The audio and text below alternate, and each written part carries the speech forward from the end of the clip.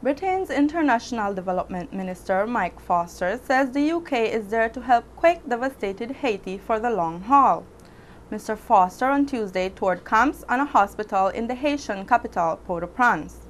He told journalists, quote, No one walks away from the scenes of devastation I have seen today in 18 months, end quote. The International Development Minister said the British government had sent $30 million in emergency funds to Haiti in the immediate aftermath of the quake. He said British aid money would be disbursed through multilateral partners like the World Bank. St. Lucia's Home Affairs Minister Guy Mayers has expressed concern about police officers doing private work without the permission of the police commissioner. The minister wants the practice stopped. He says anyone wanting the services of police officers should comply with the regulations governing employment.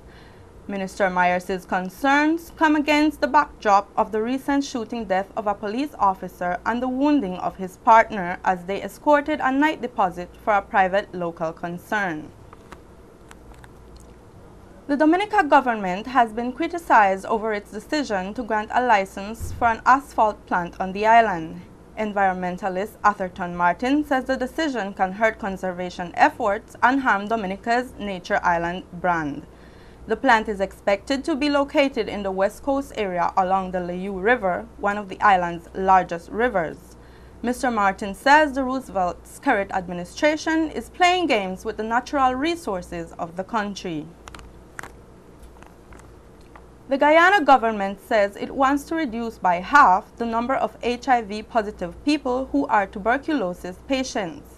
An estimated 23% of TB patients in Guyana are also living with HIV. The figure marks a 10% reduction compared to pre-2007 when 33 of TB patients were among those diagnosed as HIV positive. Health Minister Leslie Ramsammy says most of the estimated 60 people who die from TB in Guyana annually are HIV positive. Wednesday was observed as World Tuberculosis Day. And that is your Caribbean Brief for Wednesday, March 24th. Thanks for watching.